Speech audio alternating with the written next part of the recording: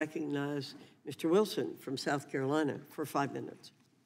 Thank you, Madam Chairwoman, and best wishes on your uh, service as chairman. We're just uh, so happy to have you.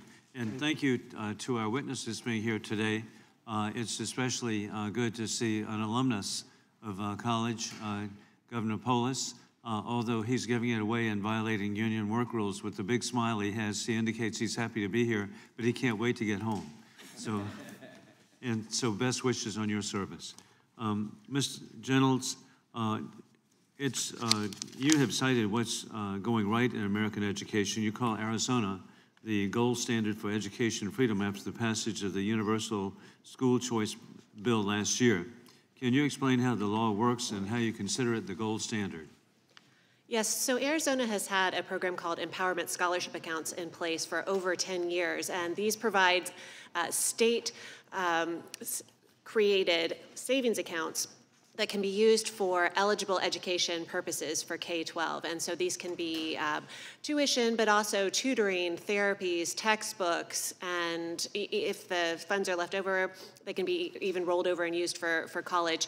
The, the program was expanded for universal eligibility, setting a model for other education savings accounts in the country. There are over 10 states with, with these programs now, and we, we think that this is the, the future because it offers control, freedom, and flexibility for parents. Well, it's, it's really a great model for the rest of the country. Congratulations.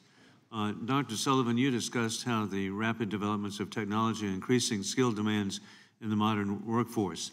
I'm really grateful in my home state of South Carolina, we've been promoting uh, technology. Uh, it has resulted in my hometown of Lexington, South Carolina, the largest Michelin tire company to, uh, corporation uh, investment in the world. Additionally, it's uh, led to our state now being the leading manufacturer and exporter of tires of any state union, and then uh, with success in our state uh, with Governor Carroll Campbell of BMW. Uh, we're now the leading, uh, with Volvo and Mercedes Sprinter vans now, we're the leading exporter of cars. Uh, but it's due to tech the technology and the technical schools that we have that have made this possible.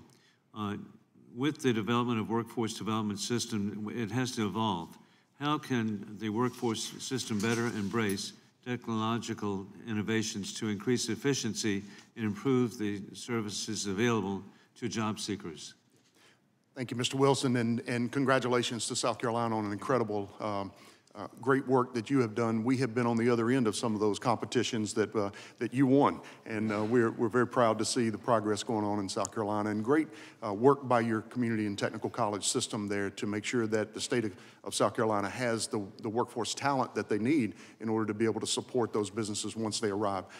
Uh, It's important to note that I mentioned 60 million adults in this economy with a high school diploma or, or less. Each year in the state of Louisiana, we graduate about 40,000 kids from high school a year. But yet we have 1.1 million working age adults who have a high school diploma or less. Oftentimes, they're the same parents to the young people that we were just describing. And so, from, from our perspective, we must build in continuous opportunities for on-ramp uh, in, for individuals to get into education, short-term training to get the, the uh, education that they need to be uh, able to take on that first job, but then also a great relationship with the employers, like the ones that you mentioned, to help advance the, the education of that individual so they understand the technology.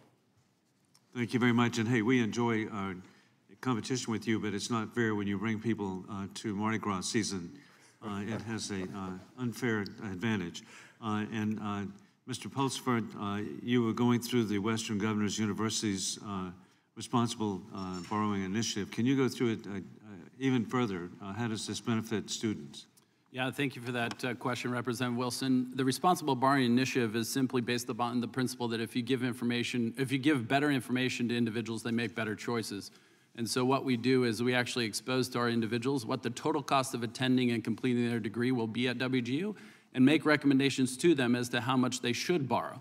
What we've actually found is that you know fully two-thirds of the students who uh, actually follow that recommendation, and another five to 10 percent end up actually choosing no federal aid whatsoever.